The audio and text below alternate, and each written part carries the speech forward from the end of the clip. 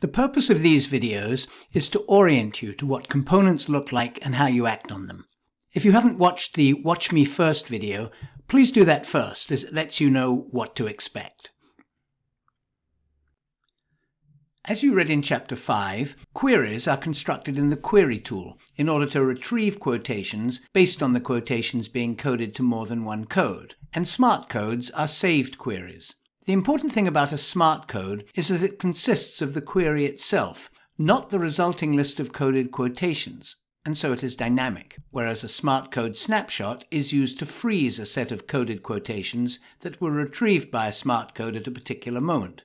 We'll postpone discussing the common actions until a later video, and here focus on the specific actions, linking smart codes to other components, but not to additional quotations, and noting that smart code snapshots can be linked to other quotations because they are just like regular codes. And finally, interrogating smart codes. Smart codes are saved queries. So first we have to start with queries. Queries are combinations of codes connected with operators. An operator is something that connects what are called operands. So if you have two operands, like the numbers 2 and 3, and you connect them with an operator, like plus, then the result is 5. In Atlas TI, the operands are codes, and the operators are provided by Atlas TI to connect the codes, and the result is a list of coded quotations that meets the coding criteria of the query. Here is the authentic learning activity study I've mentioned in previous videos. Here is a code, in the background, used whenever students described the professor's style of not interfering in the student's conduct of their work assignment with the client.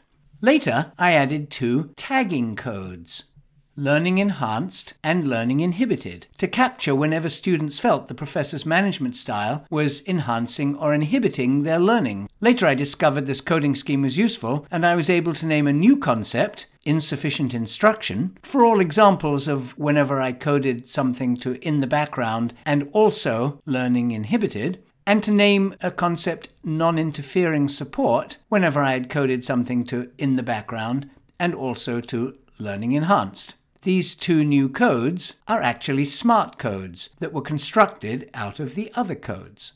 Let's go to the first one and go to the smart code editor. Here is the query that I had constructed earlier, consisting of the code in the background and the code learning inhibited, which I had connected with the operator AND, which means get me all quotations coded to both in the background and also learning inhibited. And here are the results. Now let's go on to construct a new query. I'll close this Smart Code editing window and open the regular query tool, which is an Analyze Query tool. Constructing a query graphically is very simple and very intuitive, but first you have to understand what the operators do. Here are the 14 operators that I first showed you in the video on coded quotations, where I described in more detail the four most commonly used operators, or, and, not, and co-occur. Here's a review of all the operators, and then you can experiment with them to see which ones may be most useful to you. This group Atlas TI calls the set operators, which includes or, and, and not, but it also includes a more specialized operator, which Atlas TI calls one of. So you can see that the OR operator indicates that this retrieves all quotations coded to one code or another code, or that are coded to both codes. The one of operator is much more specific. It gets you all quotations coded to one code or coded to the other code, but not coded to both codes. You'd have to have a pretty sophisticated coding scheme to want to take advantage of that operator. The second group of operators retrieve coded quotations up and down hierarchies of codes that you have linked together. Here is a code called management style. This is a header code, which I've linked to various detail codes in a network. As you can see, management style itself does not have any quotations directly linked, but the currently three more detailed codes do, and they are in total 5, 10, and 5, so 20 quotations in all. At some point, I might decide I want to extract and read all the data that I've associated with management style, regardless of these divisions. So the query tool allows me to retrieve this set of quotations using the up and down hierarchy operators.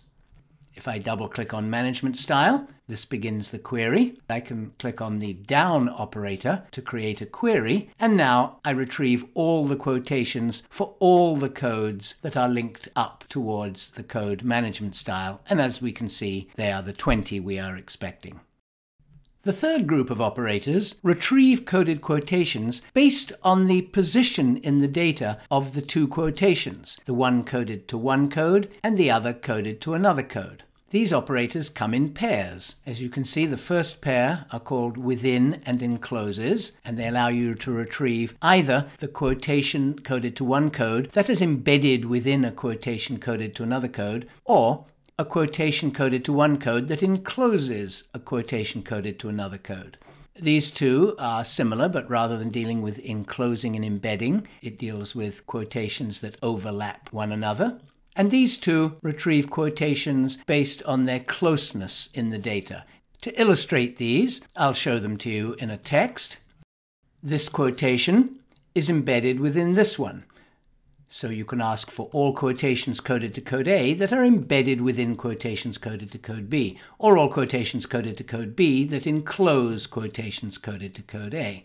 And the second set, all quotations coded to code C that overlap quotations coded to code D. And finally, all quotations coded to code E that follow quotations coded to code F by a certain distance.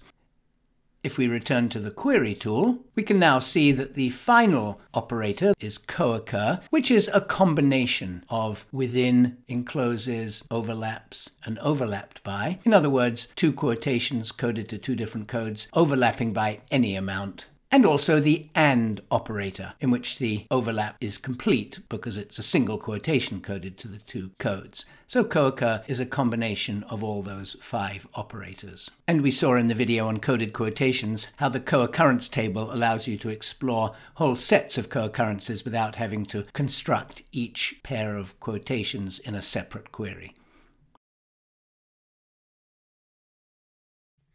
This completes part one, which showed that smart codes are saved queries and how the query tool works with its 14 operators. Please watch part two for how to construct a query and then save it as a smart code and a smart code snapshot, and for the remaining actions specific to smart codes.